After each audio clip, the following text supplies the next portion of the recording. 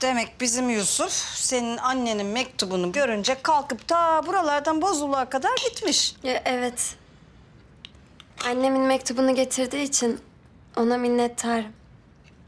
Önemli bir şey değil canım. Lafın etmeye bile değmez. Yusuf böyledir. Herhangi birinin ihtiyacı olursa direkt yardıma koşar. Ya, kim olduğunun hiçbir önemi yok. Kara pelerinli şövalye be. Aa. Şey, Yusuf soğumadan yesene şunu. Adayısın. Sabahtan beri hiçbir şey yemedim. Ama ben onu sana aldım. Ada misafir ya abicim. Yani Nalan da misafir. Yani ona da bunu verirsek o zaman sen yemeyeceksin. Ben yemeyeceğim. Nalan yesin. Ben hamur yemiyorum. Sen ye hayatım. Bak çocuk almış o kadar üzülmesin. Çocuk mu? Gençler sakin. Ver abi onu bana. Ben hemen hallediyorum. Al Ada. Sağ ol. Siz Ben almayayım. al abi. Eh artık İstanbul'a yerleşiyorsun ya sık sık gelirsin bizim buraya. Bilmem ki. Hem Yusuf'la görüşürsün hem biz seninle sohbet ederiz. Bu Nalan da geliyor da sohbet olmuyor. Tuz uzatır mısın? Al sevgilim.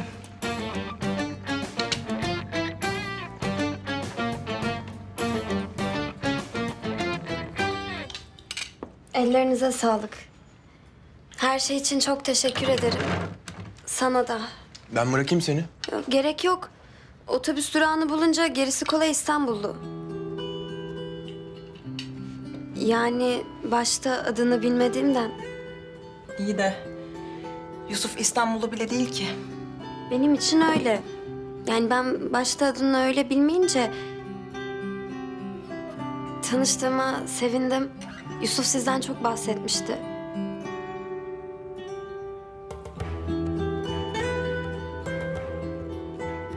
Bir şeye ihtiyacın olursa beni de ara. Buradaki tek tanıdığın kişi Yusuf değil artık. Pabucumun samimisi. Görüşürüz. Görüşürüz. Memnun oldum. Görüşürüz Ada. Görüşürüz Çiçek. Görüşürüz. Görüşürüz. Bekliyorum bak. İyi günler. Çay koyayım mı sana?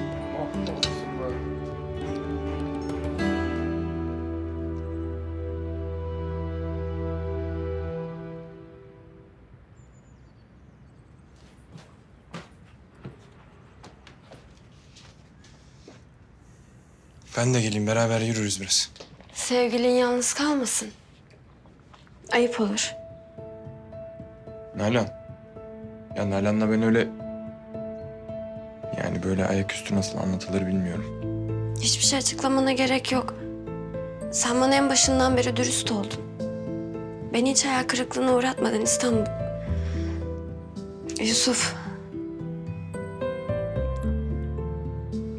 Hoşça kal.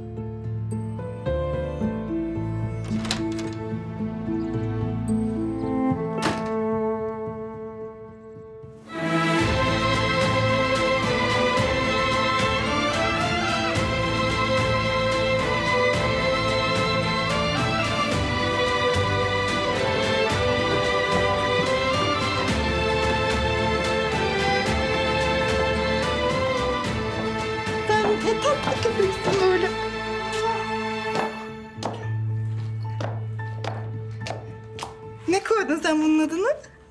Bulamadıysan beraber koyalım. Ada buldu. İsmini de koysun.